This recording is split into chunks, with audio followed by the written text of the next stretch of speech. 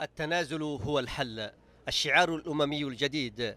فلم يعد السلام وفق الرؤية الأممية حلا وهي الرؤية التي تنص على عودة الشرعية لبسط سيادتها على مؤسسات الدولة.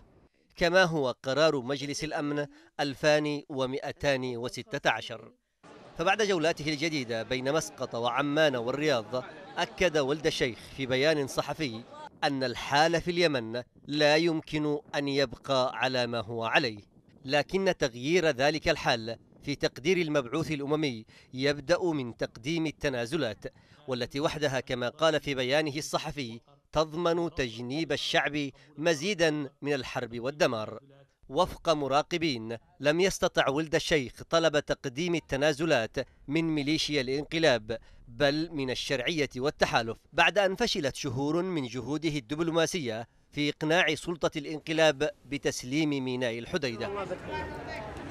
فتح مطار صنعاء كان هو الشرط الموضوعي المقابل والتالي لتسليم ميناء الحديدة في خطة ولد الشيخ الأخيرة لكنه لم يعد كذلك في التوجهات الأممية الجديدة التي تنشط لإقناع التحالف والشرعية بفتح المطار من أجل أغراض إنسانية. الجهود الأممية المدعومة بضغوطات دولية أثمرت باستجابة مشروطة من قبل التحالف العربي والذي أبدى استعداده لفتح مطار صنعاء شرط الإشراف الأمني عليه من قبل الأمم المتحدة. لم يحدث شيء جديد في الخطة الأممية سوى تغيير نافذتها من الحديدة إلى صنعاء.